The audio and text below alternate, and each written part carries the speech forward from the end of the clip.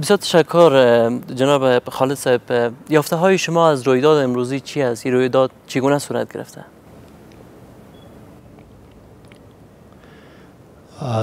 د ما لپاره ډیره مشکله ده چې د خپل یو ګران ورور د یو ملي اتل او د هغه چا چې کلونه یو ځای کار سره کړی وو او لنږدې دوست نه سم ویلی بلکې ورور مې وو. د داسې یو واقعې په حصه کې در سره خبرې وکم. خو قمندان صاحب رازق نن نه د شهید سوی له هغې ورځې نه چې د وطن دفاع ته یې ملا تړلې وه او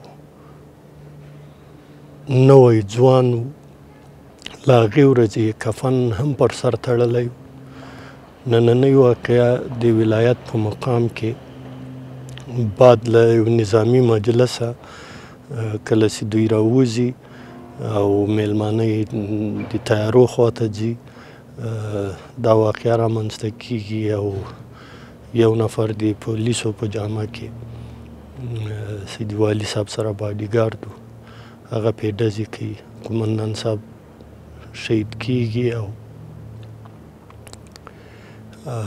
رئیس صاحب د امنیت او سلیم جان چې تاسو غونډې یو تکړه ژورنالیست او کامرمن نور ملګری هم زخمیان دي. و جان باختن به جنرال رازق چی پیامدهای خواهد داشت در کندهار و در کل در حوزه جنوب و جنوب غرب؟ د جنرال صاحب په رقم شخصیتونه موږ په هر لسو قدمو کې نه لرو واقعا دا د موږ لپاره او بیا خصوصا د قندهار او د جنوب غرب د حوزې د ټولو خلکو لپاره ډیر مشکل حالت ده. خو د دام رزمان د د ملګری د د همسنګران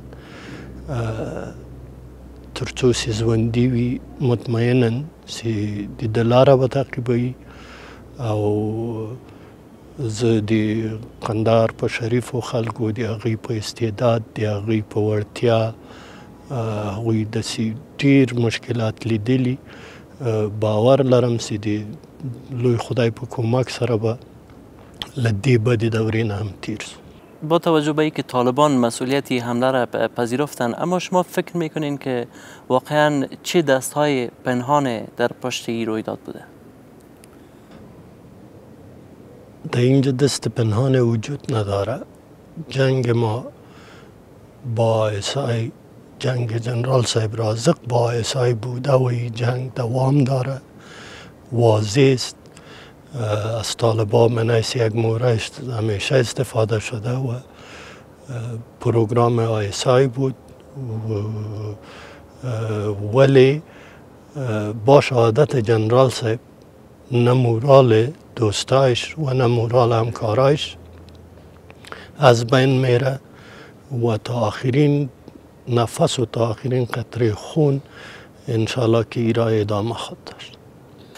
و در گذشته ها هم رویدادهای همسان صورت گرفته در قندهار انفجار در میمانخانه ولی پیشین کندهار هم صورت گرفت و در حالی که جنرال رازق در بیشتر از 20 حمله حراس افغانانه جان به سلامت برده بود اما حالا در یکی از امنترین بخشای کندهار این رویداد صورت گرفت آیا فکر می‌کنین که اختلافات درونی هم می‌تونه که بخش از این رویداد باشه؟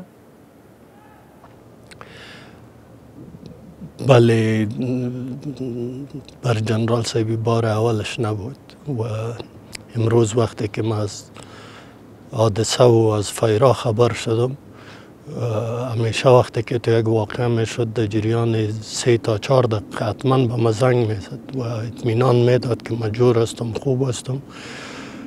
ولی تو یک واقعه شده. چندین بار که زخمی هم شد. پیامش همی بود که کم اوگار شدیم. ولی وقتی که خبر شدم و بعد از او چند دقیقه تلفنش نامد بسیار پریشان شدم تا که فهمیدم. ولی قطعا ما فکر نکنم هیچ کدام مسئله اختلاف درونی نبوده و رازق با کسی اختلاف درونی در قندهار نداشت. واضح بار اول نیست و در کویته حمله تراحی شده بود. پلان آیسای و ده هیچ شکش به وجود نداره. در مورد از که این حمله چقدر بر انتخابات اثر خواهد گذاشت به ویژه در حوزه جنوب و جنوب غرب؟ خب واضح است که روی انتخابات پارلمانی خصوصا روز شنبه من نمیفهم که وضعیت چطور خواد بود و یا مراسم مردم مصروف خواد بودن کمیسیون چه تصمیم خواد گرفت. این دیگه کار اوناست جنرال رازق یکی از کسایی بود که قسم شما هم گفتین که با شما از کودکی یک جا بزرگ شده میشه کم از خاطراتتان بگوین چگونه یک فرد بود؟ در مورد شخصیت جنرال صاحب در مورد خاطرات ما دیگه با ما مصاحبان برد نمراید بسیار مشکل بود. شخصیت وطن دوست عاشق افغانستان. و بارها به یادم است.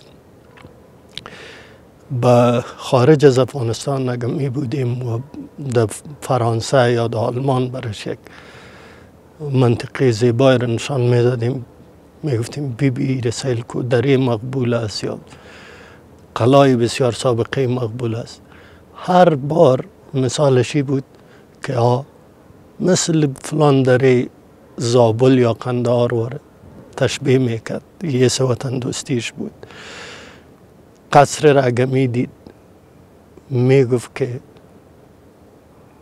بالکل قصر دارلمان ما شما است. حالا بسیار فرق می قصر دارلمان نسبت به قصرهای کلان و دیگه ای کلش امویس وطن دوستیش و بارها شده در حالت زخمی بودنش در حالت مریضیش که تلفن از پیشش می گرفتیم و قید می کردم از پیشش.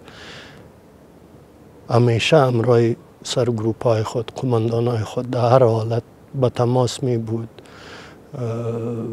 جوی اولشان می بود و یک شخصیت وطن پرست شخصیت ملی شخصیت مقاوم و شخصیتی که همه چیز میفهمید و صحبت هایی که با دگاه داشته میگان وقت میگفت میره که ما ایره میفهمیم که انجام ما شهادت است. و